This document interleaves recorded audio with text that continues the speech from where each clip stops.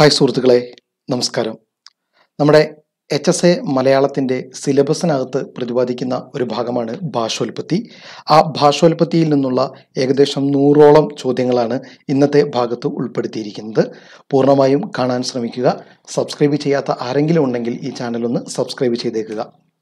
മിശ്രഭാഷ പരാമർശമുള്ള ഇളംകുളത്തിന്റെ ഗ്രന്ഥമാണ് കേരള ഭാഷയുടെ വികാസ പരിണാമങ്ങൾ മിശ്രഭാഷ പരാമർശമുള്ള ഇളംകുളത്തിന്റെ ഗ്രന്ഥമാണ് കേരള ഭാഷയുടെ വികാസ പരിണാമങ്ങൾ.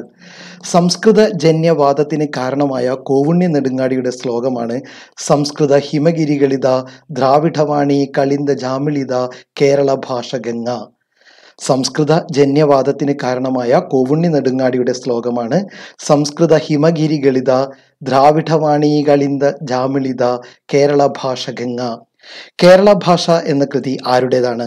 കെ എം പ്രഭാകര വാര്യർ കേരള ഭാഷ എന്ന കൃതി ആരുടേതാണ്? കെ എം പ്രഭാകര വാര്യർ ദ്രാവിഡ ഭാഷകളുടെ സ്വതന്ത്ര നിലയെപ്പറ്റി ആദ്യം അഭിപ്രായം രേഖപ്പെടുത്തിയത് എഫ് ഡബ്ല്യു എല്ലിസ് ആണ് ദക്ഷിണേന്ത്യൻ ഭാഷകൾ എന്ന കൃതിയിൽ. ദ്രാവിഡ ഭാഷകളുടെ സ്വതന്ത്ര നിലയെപ്പറ്റി ആദ്യം അഭിപ്രായം രേഖപ്പെടുത്തിയത് എഫ് ഡബ്ല്യു എല്ലിസ് ആണ് ബ്രഹ്മാണ്ഡ പുരാണത്തിൽ കേരളത്തെ പരാമർശിച്ച് കാണുന്നത് ഏത് പേരിലാണ്? തൂർപ്പാഘാരം എന്ന പേരിലാണ്. ബ്രഹ്മാണ്ഡ പുരാണത്തിൽ കേരളത്തെ പരാമർശിച്ച് കാണുന്നത് ഏത് പേരിലാണ്? തൂർപ്പാഘാരം. പ്രാചീന മലയാളം എന്ന കൃതി ആരുടേതാണ്? ചട്ടമ്പി സ്വാമികൾ. പ്രാചീന മലയാളം എന്ന കൃതി ചട്ടമ്പി സ്വാമികളുടേതാണ്. കേരളത്തെ ആദ്യമായി മലബാർ എന്ന് വിളിച്ച അറബി സഞ്ചാരിയാണ് അൽ ബറൂണി കേരളത്തെ ആദ്യമായി മലബാർ എന്ന് വിളിച്ച അറബി സഞ്ചാരിയാണ് അൽ ബറൂണി കേരള പരാമർശമുള്ള പ്രാചീന രേഖകളാണ് അഗ്നിപുരാണം മത്സ്യപുരാണം വായുപുരാണം വിഷ്ണുപുരാണം രഘുവംശം ഐതരേയാരണ്യകം. കേരള പരാമർശമുള്ള പ്രാചീന രേഖകളാണ് അഗ്നിപുരാണം മത്സ്യപുരാണം വായുപുരാണം വിഷ്ണുപുരാണം രഘുവംശം ഐതരേയാരണ്യകം. ദ്രാവിഡ ഭാഷകളുടെ നിരുക്തി നിഘണ്ടു തയ്യാറാക്കിയത് എമനോയും ബറോയുമാണ്. ദ്രാവിഡ ഭാഷകളുടെ നിരുക്തി നിഘണ്ടു തയ്യാറാക്കിയത് എമനോയും ബറോയുമാണ്. ദക്ഷിണേന്ത്യൻ ഭാഷകളുടെ ആ ദക്ഷിണേന്ത്യൻ ഭാഷകളെ ആന്ധ്ര ദ്രാവിഡ ഭാഷകൾ എന്ന് വിശേഷിപ്പിച്ചത് ആരെല്ലാം? സംസ്കൃത ഗ്രന്ഥകാരന്മാർ. ദക്ഷിണേന്ത്യൻ ഭാഷകളുടെ ഗ്രൂ വിഭാഗത്തെ ആന്ധ്ര ദ്രാവിഡ വിഭാഗങ്ങൾ എന്ന് വിശേഷിപ്പിച്ചത് സംസ്കൃത ഗ്രന്ഥകാരന്മാരാണ്. മലയാള ഭാഷോൽപത്തിയെ മധ്യകാല തമിഴിനോട് ബന്ധപ്പെടുത്തി ചിന്തിച്ച പണ്ഡിതനാണ് എൽ വി രാമസ്വാമി അയ്യർ. മലയാള ഭാഷോൽപത്തിയെ മധ്യകാല തമിഴിനോട് ബന്ധപ്പെടുത്തി ചിന്തിച്ച പണ്ഡിതനാണ് എൽ വി രാമസ്വാമി അയ്യർ. തമിഴ് ജ്യേഷ്ഠ സഹോദരിയും മലയാളം കനിഷ്ഠ സഹോദരിയുമാണെന്ന് അഭിപ്രായപ്പെട്ടത് എ ആർ രാജരാജവർമ്മയാണ്. തമിഴ് ജ്യേഷ്ഠ സഹോദരിയും മലയാളം കനിഷ്ക സഹോദരിയും ആണെന്ന് അഭിപ്രായപ്പെട്ടത് എ ആർ രാജരാജവർമ്മയാണ്. ദ്രാവിഡ ഭാഷാ കുടുംബത്തിന് ഇന്തോ ആര്യൻ ഭാഷകളുമായി ജന്യജനക ബന്ധം കൽപ്പിക്കാൻ നിവൃത്തിയില്ലെന്ന് അഭിപ്രായപ്പെട്ടത് ഡോക്ടർ കാർഡുലാണ്. ദ്രാവിഡ ഭാഷാ കുടുംബത്തിന് ഇന്തോ ആര്യൻ ഭാഷകളുമായി ജന്യജനക ബന്ധം കൽപ്പിക്കാൻ നിവൃത്തിയില്ലെന്ന് അഭിപ്രായപ്പെട്ടത് ഡോക്ടർ കാർഡുലാണ്. ഭാഷാ സംക്രമണവാദം അവതരിപ്പിച്ചത് സി എൽ ആന്റണി. ഭാഷാ സംക്രമണവാദം അവതരിപ്പിച്ചത് സി എൽ ആന്റണിയാണ്. പ്രാചീന ഭാരതത്തെക്കുറിച്ച് വിവരം നൽകുന്ന ഗ്രീക്ക് യാത്രാ വിവരണ ഗ്രന്ഥമാണ് പെരിപ്ലസ്. പ്രാചീന ഭാരതത്തെക്കുറിച്ച് വിവരം നൽകുന്ന ഗ്രീക്ക് യാത്രാ വിവരണ ഗ്രന്ഥമാണ് പെരിപ്ലസ്. ദ്രാവിഡ ചൊല്ലുകൾ എന്ന കൃതിയുടെ കർത്താവ് ഡോക്ടർ എസ് കെ നായരാണ്. ദ്രാവിഡ ചൊല്ലുകൾ എന്ന കൃതിയുടെ കർത്താവ് ഡോക്ടർ എസ് കെ നായരാണ്. മലയാള ഭാഷാ പരിണാമം സിദ്ധാന്തങ്ങളും വസ്തുതകളും ആരുടെ കൃതിയാണ്? തിരുനെല്ലൂർ കരുണാകരൻ. മലയാള ഭാഷാ പരിണാമം സിദ്ധാന്തങ്ങളും വസ്തുതകളും ആരുടെ കൃതിയാണ്? തിരുനെല്ലൂർ കരുണാകരൻ. മലയാളത്തിലെ പ്രഥമ സാഹിത്യ ചരിത്ര ഗ്രന്ഥമാണ് മലയാള ഭാഷാ ചരിത്രം. ആയിരത്തി എണ്ണൂറ്റി എൺപത്തി ഒന്നിൽ പി ഗോവിന്ദപിള്ളയാണ് രചിച്ചത്. മലയാളത്തിലെ പ്രഥമ സാഹിത്യ ചരിത്ര ഗ്രന്ഥമാണ് മലയാള ഭാഷാ ചരിത്രം. ആയിരത്തി എണ്ണൂറ്റി എൺപത്തി ഒന്നിൽ പി. ഗോവിന്ദപിള്ളയാണ് രചിച്ചത്. മൂലകുടുംബത്തിൽ പുരുഷ പ്രത്യയങ്ങൾ ചേർക്കുന്ന സമ്പ്രദായം സാമാന്യമായി നിരക്കുന്നതിന് മുമ്പ് മലയാളം അവിടെ നിന്ന് പിരിഞ്ഞു എന്ന് വിചാരിക്കണം. ഇത് ആരുടെ വാദമാണ്? Doctor K. എം. ജോർജ്. മൂലകുടുംബത്തിൽ പുരുഷ പ്രത്യയങ്ങൾ ചേർക്കുന്ന സമ്പ്രദായം സാമാന്യമായി നിരക്കുന്നതിന് മുമ്പ് മലയാളം അവിടെ നിന്ന് പിരിഞ്ഞു എന്ന് വിചാരിക്കണം. ഇത് ആരുടെ വാദമാണ്? Doctor K. എം. ജോർജ്. ഭാഷാഗദ്യത്തിന്റെ പരിണാമത്തെക്കുറിച്ച് പറയുമ്പോൾ നീചരാജഭാഷയെക്കുറിച്ച് പരാമർശിക്കുന്ന പണ്ഡിതനാണ് സി എൽ ആന്റണി. ഭാഷാഗദ്യത്തിന്റെ പരിണാമത്തെക്കുറിച്ച് പറയുമ്പോൾ നീചരാജ ഭാഷയെക്കുറിച്ച് പരാമർശിക്കുന്ന പണ്ഡിതനാണ് സി എൽ ആന്റണി. തെലുങ്കിനോടോ കർണാടകത്തിനോടോ തമിഴിനോടോ മലയാളത്തിന് ഛന്തസ്സിന്റെ കാര്യത്തിൽ പറയത്തക്ക അധമർണയൊന്നുമില്ല എന്ന് ആരുടെ അഭിപ്രായമാണ്? Doctor S K Nair. തെലുങ്കിനോടോ കർണാടകത്തിനോടോ തമിഴിനോടോ മലയാളത്തിന് ഛന്തസിന്റെ കാര്യത്തിൽ പറയത്തക്ക ബന്ധമൊന്നുമില്ല എന്നത് ആരുടെ അഭിപ്രായമാണ്? Doctor S K Nair. Sanskrit മലയാളത്തിൽ നിന്ന് പദങ്ങൾ മാത്രമല്ല വൃത്തങ്ങളും കടമെടുത്തിട്ടുണ്ട് എന്ന് അഭിപ്രായപ്പെട്ടത് ഉള്ളൂർ. സംസ്കൃതം മലയാളത്തിൽ നിന്ന് പദങ്ങൾ മാത്രമല്ല വൃത്തങ്ങളും കടം എടുത്തിട്ടുണ്ട് എന്ന് അഭിപ്രായപ്പെട്ടത് ഉള്ളൂരാണ്. നീചരാജഭാഷ എന്നതുകൊണ്ട് സി എൽ ആന്റണി ഉദ്ദേശിക്കുന്നത് തമിഴും മലയാളവും ചേർന്ന മിശ്ര ഭാഷയാണ് നീചരാജ ഭാഷ എന്നതുകൊണ്ട് സി എൽ ആന്റണി ഉദ്ദേശിക്കുന്നത് തമിഴും മലയാളവും ചേർന്ന മിശ്ര ഭാഷയെയാണ്. മലയാള ഭാഷ എന്ന സമസ്ത പദം പ്രയോഗിച്ചിട്ടുള്ള പ്രഥമ കൃതി ഉണ്ണിയാടി ചരിതമാണ്. മലയാള ഭാഷ എന്ന സമസ്ത പദം പ്രയോഗിച്ചിട്ടുള്ള പ്രഥമ കൃതി ഉണ്ണിയാടി ചരിതമാണ്. മലനാടിനെ കേരളങ്ങൾ എന്ന് പേരിട്ടിരിക്കുന്ന പ്രാചീന കൃതി ഉണ്ണിയാടി ചരിതമാണ്. മലനാടിനെ കേരളങ്ങൾ എന്ന് പേരിട്ടിരിക്കുന്ന പ്രാചീന കൃതി ഉണ്ണിയാടി ചരിതമാണ്. സംസ്കൃതം ഗ്രീക്ക് ലത്തീൻ ഭാഷകളുടെ ബന്ധം കണ്ടെത്തിയത് സർ വില്യം ജോൺസ് ആണ് സംസ്കൃതം ഗ്രീക്ക് ലത്തീൻ ഭാഷകളുടെ ബന്ധം ആദ്യം കണ്ടെത്തിയത് സർ വില്യം ജോൺസ് ആണ് ആര്യ ദ്രാവിഡ ഭാഷകളുടെ പരസ്പര ബന്ധം ആരുടെ കൃതിയാണ്? എൽ. എ. രവിവർമ്മ. ആര്യ ദ്രാവിഡ ഭാഷകളുടെ പരസ്പര ബന്ധം ഇത് ആരുടെ കൃതിയാണ്? എൽ. എ. രവിവർമ്മ. ഭാഷകളെക്കുറിച്ച് പരാമർശമുള്ള പ്രാചീന കൃതി ഭീമേഷു പുരാണം. ഭാഷകളെക്കുറിച്ച് പരാമർശമുള്ള പ്രാചീന കൃതിയാണ് ഭീമേശ പുരാണം. ഏതു ഭാഷയിലെ കൃതിയിലാണ് മലയാള ഭാഷ എന്ന പദം ആദ്യം പ്രയോഗിച്ചത്? തെലുങ്ക്. ഏതു ഭാഷയിലെ കൃതിയിലാണ് മലയാള ഭാഷ എന്ന പദം ആദ്യം പ്രയോഗിച്ചത്? തെലുങ്ക്.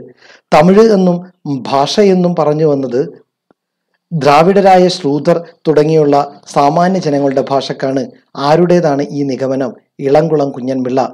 തമിഴ് എന്നും ദ്രാവിഡ ഭാഷ എന്നും പറഞ്ഞു വന്നത് ദ്രാവിഡരായ ശൂദ്രർ തുടങ്ങിയിട്ടുള്ള സാമാന്യ ജനങ്ങളുടെ ഭാഷക്കാണ്.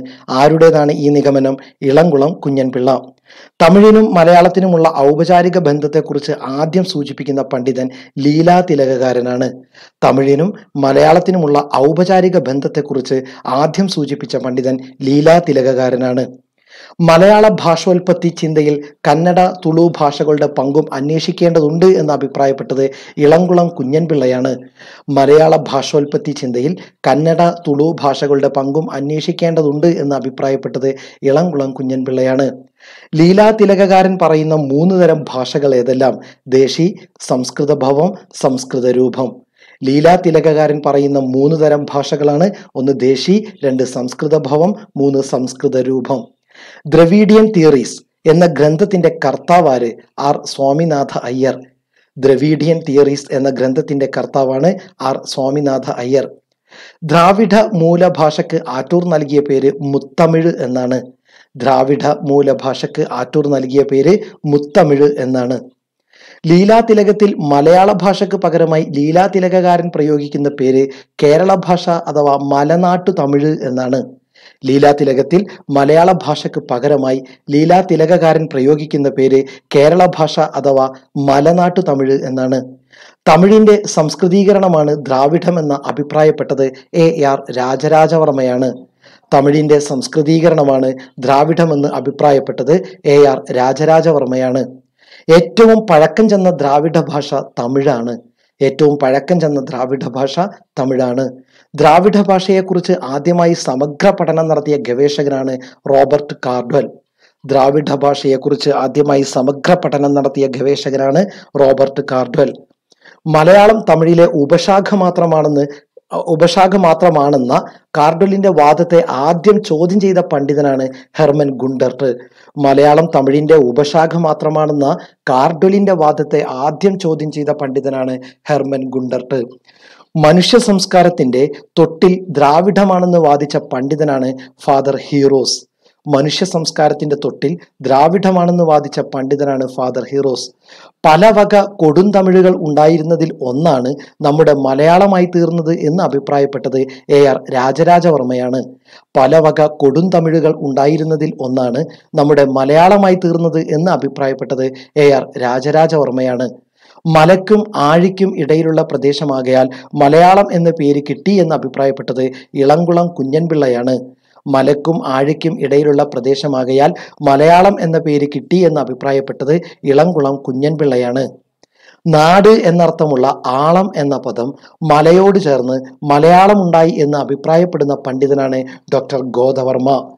നാട് എന്നർത്ഥമുള്ള ആളം എന്ന പദം മലയോട് എന്ന് ചേർന്ന് മലയാളം ഉണ്ടായി എന്ന് അഭിപ്രായപ്പെടുന്ന പണ്ഡിതനാണ് ഡോക്ടർ ഗോദവർമ്മ. മലകൾ ആളുന്ന നാട് എന്ന് ഭാഷയെ നിഷ്പാദിക്കുന്ന പണ്ഡിതനാണ് ആറ്റൂർ കൃഷ്ണ പിഷാരടി മലകൾ ആളുന്ന നാട് എന്ന് ഭാഷയെ നിഷ്പാദിക്കുന്ന പണ്ഡിതനാണ് ആറ്റൂർ കൃഷ്ണ പിഷാരടി മലം അധികം ആളം എന്ന് മലയാളത്തിനെ പിരിച്ചത് ഹെർമൻ ഗുണ്ടർട്ടാണ്. മലം അധികം ആളം എന്ന് മലയാളത്തിനെ പിരിച്ചത് ഹെർമൻ ഗുണ്ടർട്ടാണ്. ഭാഷാ സാഹിത്യ ചരിത്രം ആരുടെ കൃതിയാണ്? ആറ്റൂർ കൃഷ്ണ പിഷാരടിയുടെ കൃതിയാണ്. ഭാഷാ സാഹിത്യ ചരിത്രം ആരുടെ കൃതിയാണ്? ആറ്റൂർ കൃഷ്ണ പിഷാരടി ഏതു പദത്തെ അടിസ്ഥാനമാക്കിയാണ് കാർഡൽ തമിഴ് മലയാള ബന്ധം സ്ഥാപിക്കുന്നത്? കിഴക്ക് എന്ന പദത്തെ. ഏതു പദത്തെ അടിസ്ഥാനമാക്കിയാണ് കാർഡൽ തമിഴ് മലയാള ബന്ധം സ്ഥാപിക്കുന്നത്? കിഴക്ക് എന്ന പദത്തെ. ഭാഷോൽപത്തിയെക്കുറിച്ച് ചർച്ച ചെയ്യുന്ന ആറ്റൂരിന്റെ കൃതികളാണ് മലയാള ഭാഷയും സാഹിത്യവും ഭാഷാ സാഹിത്യ ചരിത്രം. ഭാഷോൽപത്തിയെക്കുറിച്ച് ചർച്ച ചെയ്യുന്ന ആറ്റൂരിന്റെ കൃതികളാണ് മലയാള ഭാഷയും സാഹിത്യവും ഭാഷാ സാഹിത്യ ചരിത്രം. കമിൽ സൊബൽ അവതരിപ്പിക്കുന്ന ഭാഷോൽപത്തിവാദമാണ് പൂർവ തമിഴ് മലയാള വാദം കമിൽ സുബിൽ അവതരിപ്പിക്കുന്ന ഭാഷോൽപത്തിവാദമാണ് പൂർവ തമിഴ് മലയാള മലയാളവാദം. പരതന്ത്രഘട്ടം സ്വതന്ത്രഘട്ടം സംക്രമണഘട്ടം എന്നിങ്ങനെ ഭാഷാ ചരിത്രത്തെ വിഭജിച്ചത് സി എൽ ആന്റണിയാണ്. പരതന്ത്രഘട്ടം സ്വതന്ത്രഘട്ടം സംക്രമണഘട്ടം എന്നിങ്ങനെ ഭാഷാ ചരിത്രത്തെ വിഭജിച്ചത് സി എൽ ആന്റണിയാണ്. സംസ്കൃതജന്യവാദത്തിന് ആധാരമായ കോവുണ്ണി നെടുങ്ങാടിയുടെ കൃതിയാണ് കേരള കൗമുദി. സംസ്കൃതജന്യവാദത്തിന് ആധാരമായ കോവണ്ണി നെടുങ്ങാടിയുടെ കൃതിയാണ് കേരള കൗമുദി. കേരള പാണിനീയത്തിൽ ഏതു ഭാഗത്താണ് ഭാഷാ ഉൽപ്പത്തിയെക്കുറിച്ച് പറയുന്നത്? പീഠികയിൽ. കേരള പാണിനീയത്തിൽ ഏതു ഭാഗത്താണ് ഭാഷാ ഉൽപ്പത്തിയെക്കുറിച്ച് പറയുന്നത്? പീഠികയിൽ മലയാളത്തിന് തമിഴിനോടുള്ള ബന്ധം സ്ഥാപിക്കുന്നതിനായി ലീലാതിലകകാരൻ അവതരിപ്പിക്കുന്ന വാദമാണ് കൂന്തൽ വാദം. മലയാളത്തിന് തമിഴിനോടുള്ള ബന്ധം സ്ഥാപിക്കുന്നതിനായി ലീലാതിലകകാരൻ അവതരിപ്പിക്കുന്ന വാദമാണ് കൂന്തൽ വാദം. കൂന്തൽ വാദത്തിൽ ലീലാതിലകകാരൻ എടുത്തു പറയുന്ന കേരള ഭാഷാ പദങ്ങളാണ് കൂന്തൽ കുഴൽ കൊങ്കൈ. കൂന്തൽ വാദത്തിൽ ലീലാതിലകകാരൻ എടുത്തു പറയുന്ന കേരള ഭാഷാപദങ്ങളാണ് കൂന്തൽ കുഴൽ കൊങ്കൈ. ലീലാതിലകത്തിലെ ഏത് ശില്പത്തിലാണ് കൂന്തൽവാദം അവതരിപ്പിക്കുന്നത്? ഒന്നാം ശില്പത്തിൽ. ലീലാതിലകത്തിലെ ഏത് ശില്പത്തിലാണ് കൂന്തൽവാദം അവതരിപ്പിക്കുന്നത്? ഒന്നാം ശില്പത്തിൽ. പ്രാചീനം ആധുനികം എന്നിങ്ങനെ രണ്ട് മലയാളമേ ഉള്ളൂ എന്ന് പറഞ്ഞത് ആറ്റൂർ കൃഷ്ണ പിഷാരടിയാണ്. പ്രാചീനം ആധുനികം എന്നിങ്ങനെ രണ്ട് മലയാളമേ ഉള്ളൂ എന്ന് പറഞ്ഞത് ആറ്റൂർ കൃഷ്ണ പിഷാരടിയാണ്. സംക്രമണവാദം ചർച്ച ചെയ്യുന്ന സി എൽ ആന്റണിയുടെ കൃതിയാണ് ഭാഷാഗദ്യം. സംക്രമണവാദം ചർച്ച ചെയ്യുന്ന സി എൽ ആന്റണിയുടെ കൃതിയാണ് ഭാഷാഗദ്യം. മണിപ്രവാളത്തിൽ നിന്നാണ് മലയാള ഭാഷയുടെ ഉൽപ്പത്തി എന്ന വാദം ഉദിച്ചത് വാദം ഉന്നയിച്ചത് ഇളംകുളം കുഞ്ഞൻ പിള്ളയാണ്. മണിപ്രവാളത്തിൽ നിന്നാണ് ഭാഷയുടെ ഉൽപ്പത്തി എന്ന വാദം ഉന്നയിച്ചത് ഇളംകുളം കുഞ്ഞൻ പിള്ളയാണ്. കേരളത്തെ ഏഴ് നാടുകളായി കാണുന്ന പ്രാചീന തമിഴ് കൃതിയാണ് തൊൽക്കാപ്പിയം. കേരളത്തെ ഏഴ് നാടുകളായി കാണുന്ന പ്രാചീന തമിഴ് കൃതിയാണ് തൊൽക്കാപ്പിയം. ദ്രാവിഡ ഭാഷകളുടെ ബന്ധം കാണിക്കുന്നതിനായി കുടുംബവൃക്ഷ സിദ്ധാന്തം അവതരിപ്പിച്ച കേരളീയ വൈയാകരണനാണ് എ ആർ രാജരാജവർമ്മ. ദ്രാവിഡ ഭാഷകളുടെ ബന്ധം കാണിക്കുന്നതിനായി കുടുംബവൃക്ഷ സിദ്ധാന്തം അവതരിപ്പിച്ച കേരളീയ വൈയാകരണനാണ് എ ആർ രാജരാജവർമ്മ. മഹാബലിയെ ചരിത്ര പുരുഷനാക്കിക്കൊണ്ട് ഭാഷോൽപത്തി ചർച്ച ചെയ്യുന്ന പണ്ഡിതനാണ് വടക്കംകൂർ രാജരാജവർമ്മ. മഹാബലിയെ ചരിത്ര പുരുഷനാക്കിക്കൊണ്ട് ഭാഷോൽപത്തി ചർച്ച ചെയ്യുന്ന പണ്ഡിതനാണ് വടക്കുംകൂർ രാജരാജവർമ്മ. ശരീരം ആത്മാവ് എന്നീ പദങ്ങളെ അടിസ്ഥാനമാക്കി ഭാഷോൽപത്തിവാദം ചർച്ച ചെയ്യുന്ന പണ്ഡിതനാണ് വടക്കുംകൂർ രാജരാജവർമ്മ. ശരീരം ആത്മാവ് എന്നീ പദങ്ങളെ അടിസ്ഥാനമാക്കി ഭാഷോൽപത്തിവാദം ചർച്ച ചെയ്യുന്ന പണ്ഡിതനാണ് വടക്കുംകൂർ രാജരാജവർമ്മ. അകാര സംരക്ഷണവുമായി ബന്ധപ്പെട്ട ഭാഷയുടെ സ്വതന്ത്ര നിലയെപ്പറ്റി ചർച്ച ചെയ്യുന്ന പണ്ഡിതനാണ് ആറ്റൂർ കൃഷ്ണ പിഷാരടി. അകാര സംരക്ഷണവുമായി ബന്ധപ്പെട്ട ഭാഷയുടെ സ്വതന്ത്ര നിലയെപ്പറ്റി ചർച്ച ചെയ്യുന്ന പണ്ഡിതനാണ് ആറ്റൂർ കൃഷ്ണ പിഷാരടി. തമിഴിലെ രണ്ടു തരം ഭാഷാ ഭേദങ്ങൾ ഏതെല്ലാം? ചെന്തമിഴും കൊടുന്തമിഴും. തമിഴിലെ രണ്ടു തരം ഭാഷാഭേദങ്ങൾ ചെന്തമിഴും കൊടുന്തമിഴും. കൊടുന്തമിഴ് എന്നാൽ എന്താണ്? കോടിയ തമിഴ് എന്നാണ് അർത്ഥം. സംസാര ഭാഷയ്ക്ക് ഉപയോഗിച്ചിരുന്ന തമിഴിനെയാണ് കൊടുന്തമിഴ് എന്ന് വിശേഷിപ്പിക്കുന്നത്. കൊടുന്തമിഴ് എന്നാൽ എന്താണ്? കോടിയ തമിഴ്. സംസാര ഭാഷയ്ക്ക് ഉപയോഗിച്ചിരുന്ന തമിഴാണ് ഇത്. ഭാഷാ പരിണാമം ചർച്ച ചെയ്യുന്ന കെ. ഗോദവർമ്മയുടെ കൃതിയാണ് കേരള ഭാഷാ വിജ്ഞാനീയം. ഭാഷാ പരിണാമം ചർച്ച ചെയ്യുന്ന കെ. ഗോദവർമ്മയുടെ കൃതിയാണ് കേരള ഭാഷാ വിജ്ഞാനീയം.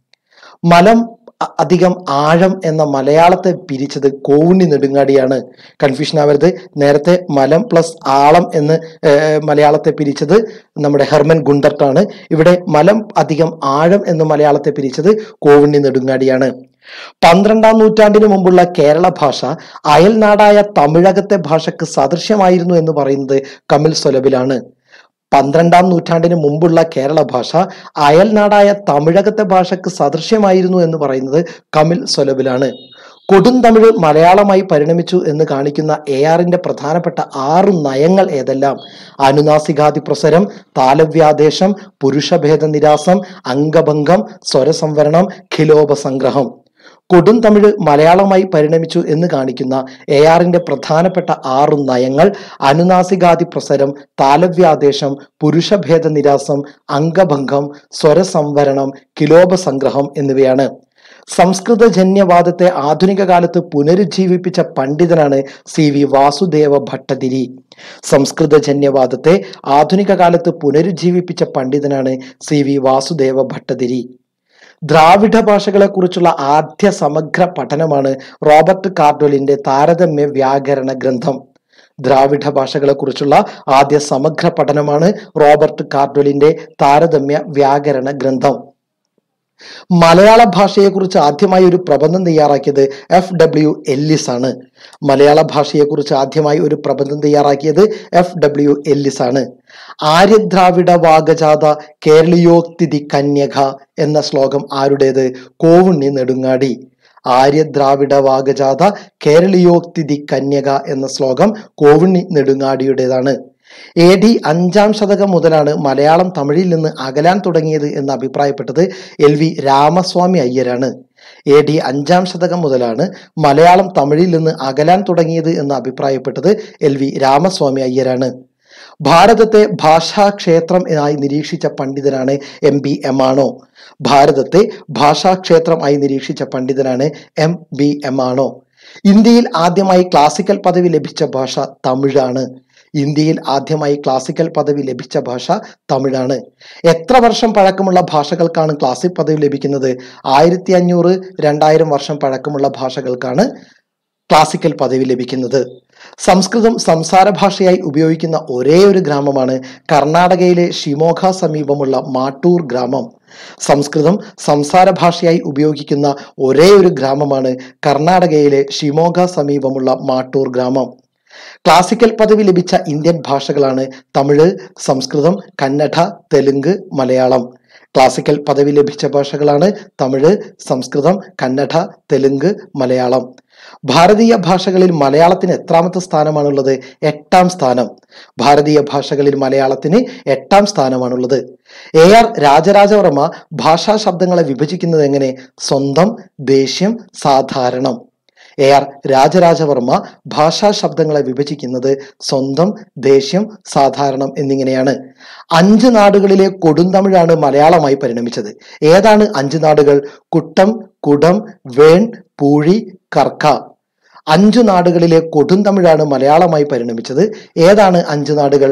കുട്ടം കുടം വേൺ പൂഴി കർക്ക. മലയാളം എന്നത് ആരുടെ കൃതിയാണ്? R E Asher T C Kumari. Comparative grammar of Dravidian South Indian family of languages ആരുടെ കൃതിയാണ്? Robert Caldwell. Comparative grammar of Dravidian South Indian family of languages ആരുടെ കൃതിയാണ്? റോബർട്ട് കാർഡ്വൽ. ഇന്ത്യൻ ഭാഷകളെക്കുറിച്ച് ആദ്യമായി സർവേ നടത്തിയത് ജോൺ ഗ്രിയേഴ്സൺ ആണ്. ഇന്ത്യൻ ഭാഷകളെക്കുറിച്ച് ആദ്യമായി survey നടത്തിയത് John ഗ്രിയേഴ്സൺ ആണ് പി ഗോവിന്ദപിള്ള നടത്തിയ ഭാഷാഘട്ട വിഭജനം കരിന്തമിഴ് കാലം പഴയ മലയാള കാലം മധ്യ മലയാള കാലം നവീന മലയാള കാലം എന്നിങ്ങനെയാണ്. പി ഗോവിന്ദപിള്ള നടത്തിയ ഭാഷാഘട്ട വിഭജനം കരിന്തമിഴ് കാലം പഴയ മലയാള കാലം മധ്യ മലയാള കാലം നവീന മലയാള കാലം എന്നിങ്ങനെയാണ്. സി എൽ ആന്റണിയുടെ ഭാഷാഘട്ട വിഭജനം പാരതന്ത്രഘട്ടം സംക്രമണഘട്ടം സ്വതന്ത്രഘട്ടം എന്നിവയാണ്. സി എൽ ആന്റണിയുടെ ഭാഷാഘട്ട വിഭജനം പാരതന്ത്രഘട്ടം സംക്രമണഘട്ടം സ്വതന്ത്രഘട്ടം എന്നിങ്ങനെയാണ്. എ ആർ രാജരാജവർമ്മയുടെ ഭാഷാഘട്ട വിഭജനം കരിന്തമിഴ് കാലം മലയാൺമകാലം മലയാളകാലം മലയാള കാലം എന്നിങ്ങനെയാണ്. എ ആർ രാജവർ രാജരാജവർമ്മയുടെ ഭാഷാഘട്ട വിഭജനം കരിന്തമിഴ് കാലം മലയാൺമകാലം മലയാളകാലം മലയാള കാലം എന്നിങ്ങനെയാണ്. വടക്കുംകൂർ രാജരാജവർമ്മയുടെ ഭാഷാഘട്ട വിഭജനം ആദ്യകാലം എഴുത്തച്ഛന് മുമ്പ് മധ്യകാലം എഴുത്തച്ഛൻ മുതൽ വലിയ കോയി തമ്പുരാൻ വരെ അധുനാതന കാലം വലിയ കോയി തമ്പുരാന് ശേഷമുള്ള കാലം. വടക്കുംകൂർ രാജരാജവർമ്മയുടെ ഭാഷാഘട്ട വിഭജനം ആദ്യകാലം മധ്യകാലം അധുനാതന കാലം. ആദ്യകാലം എഴുത്തച്ഛന്റെ മുമ്പാണ് മധ്യകാലം എഴുത്തച്ഛൻ മുതൽ വലിയ കോയി തമ്പുരാൻ വരെയാണ് അധുനാതന കാലം എന്ന് പറയുന്നത് വലിയ കോയി തമ്പുരാന് ശേഷമുള്ളതാണ്. പി വി വേലായുധൻ പിള്ളയുടെ ഭാഷാഘട്ട വിഭജനം പൂർവ പ്രാചീന മലയാളം പ്രാചീന മലയാളം വികസിത മലയാളം. പി വി വേലായുധൻ പിള്ളയുടെ ഭാഷാഘട്ട വിഭജനമാണ് പൂർവ പ്രാചീന മലയാളം പ്രാചീന മലയാളം വികസിത മലയാളം. പി ശങ്കരൻ നമ്പ്യാരുടെ ഭാഷാഘട്ട വിഭജനമാണ് പ്രാചീന മലയാളം മധ്യമലയാളം ആധുനിക മലയാളം. പി ശങ്കരൻ നമ്പ്യാരുടെ ഭാഷാഘട്ട വിഭജനമാണ് പ്രാചീന മലയാളം മധ്യമലയാളം ആധുനിക മലയാളം. പി ശങ്കരൻ നമ്പ്യാർ ഭാഷാഘട്ട വിഭജനം നടത്തിയിരിക്കുന്നത് ഏത് കൃതിയിലാണ്? മലയാള സാഹിത്യ ചരിത്ര സംഗ്രഹം. പി ശങ്കരൻ നമ്പ്യാർ ഭാഷാഘട്ട വിഭജനം നടത്തിയിരിക്കുന്നത് ഏത് കൃതിയിലാണ്? മലയാള സാഹിത്യ ചരിത്ര സംഗ്രഹം. ഡോക്ടർ കെ എം ജോർജിനെ ജോർജിന്റെ ഭാഷാഘട്ട വിഭജനമാണ് പ്രാചീന ഘട്ടം ആധുനിക ഘട്ടം. ആറ്റൂർ കൃഷ്ണ പിഷാരടിയും ഇതേ നയം തന്നെയാണ് മുന്നോട്ട് വെക്കുന്നത്.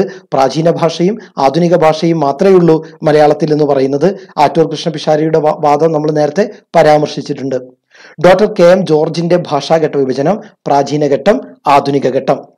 പ്രാചീന മലയാളം എന്ന വ്യവഹാരം തന്നെ ശരിയല്ല എന്ന് പറയുന്ന പണ്ഡിതൻ ഇ എം എസ് നമ്പൂതിരിപ്പാടാണ്.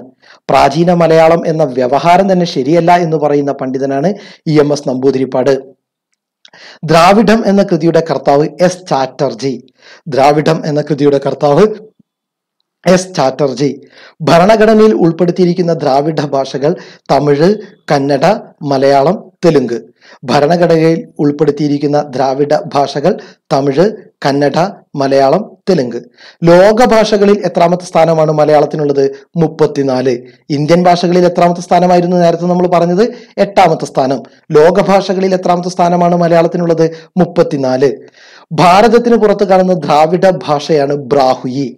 ഭാരതത്തിന് പുറത്ത് കാണുന്ന ദ്രാവിഡ ഭാഷയാണ് ബ്രാഹുയി നിയമരാഹിത്യമാണ് ഭാഷാമിശ്രത്തിന്റെ നിയമം എന്ന് അഭിപ്രായപ്പെട്ടത് ഇളംകുളം കുഞ്ഞൻപിള്ളയാണ്. നിയമരാഹിത്യമാണ് ഭാഷാമിശ്രത്തിന്റെ നിയമം എന്ന് അഭിപ്രായപ്പെട്ടത് ഇളംകുളം കുഞ്ഞൻപിള്ളയാണ്. ബ്രാഹ്മിയിൽ നിന്ന് പരിണമിച്ചുണ്ടായതാണ് വട്ടെഴുത്ത് ഉൾപ്പെടെയുള്ള ദക്ഷിണ ഭാരതത്തിലെ ലിപികൾ എന്ന് തെളിയിക്കാൻ ശ്രമിച്ച ഗവേഷകനാണ് എൽ. എ. രവിവർമ്മ. ബ്രാഹ്മിയിൽ നിന്ന് പരിണമിച്ചുണ്ടായതാണ് വട്ടെഴുത്ത് ഉൾപ്പെടെയുള്ള ദക്ഷിണ ഭാരതത്തിലെ ലിപികൾ എന്ന് തെളിയിക്കാൻ ശ്രമിച്ച ഗവേഷകനാണ് എൽ എ രവിവർമ്മ. ദ്രാവിഡ ഭാഷയ്ക്ക് സിധിയൻ ഭാഷയോട് ബന്ധമുണ്ടെന്ന് കണ്ടെത്തിയ പണ്ഡിതനാണ് കാർഡ്വൽ. ദ്രാവിഡ ഭാഷയ്ക്ക് സിധിയൻ ഭാഷയോട് ബന്ധമുണ്ടെന്ന് കണ്ടെത്തിയ പണ്ഡിതനാണ് കാർഡ്വൽ. സിദ്ധാന്ത കൗമുദി എന്ന ഗ്രന്ഥത്തിന് പദസംസ്കാര ചന്ദ്രിക എന്ന പേരിൽ വ്യാഖ്യാനം തയ്യാറാക്കിയത് കൈക്കുളങ്ങര രാമവാര്യരാണ്. സിദ്ധാന്ത കൗമുദി എന്ന ഗ്രന്ഥത്തിന് പദസംസ്കാര ചന്ദ്രിക എന്ന പേരിൽ വ്യാഖ്യാനം തയ്യാറാക്കിയത് കൈക്കുളങ്ങര രാമവാര്യരാണ്. പ്രാചീന മധ്യകാല തമിഴിന്റെ കേരളീയ വ്യവഹാര ഭാഷയാണ് മലയാളമായി പരിണമിച്ചത് എന്ന് അഭിപ്രായപ്പെട്ടത് എൽ വി രാമസ്വാമി അയ്യരാണ്.